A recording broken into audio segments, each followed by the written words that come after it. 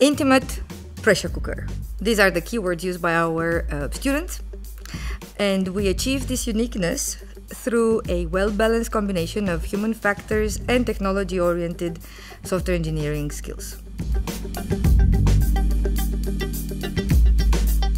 We are a one year master program, and sometimes people are surprised at the amount of research that our students get to do. Recently, the Reaccreditation Committee has pointedly congratulated us on the quality of the graduation projects. If you want to know the secret of how we achieve this, come and join us.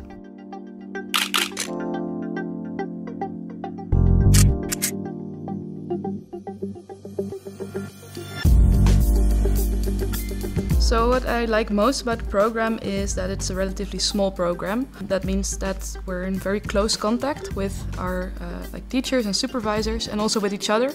So that makes it very intense but also uh, a lot of fun.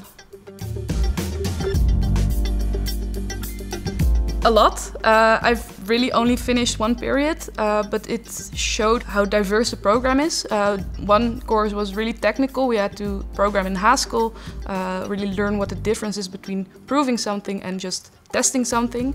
Uh, the other course was much more soft skill oriented, where we had to do a lot of reading, a lot of discussing. So yeah, we really get the, the whole package. Well, the sky is the limit. They are welcome to jobs in the entire ICT landscape, from industry to academia, both national and international. What we like to say is that they choose jobs, they do not have to chase jobs.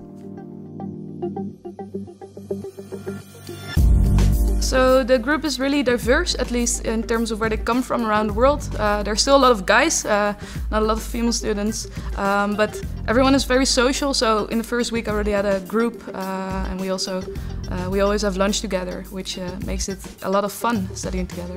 A lot of stuff we have to do is in groups of either two or three or four people, and it's actually really easy to find people to work with. Everyone is really social um, and also eager to do a good job, uh, which makes it very fun to work together.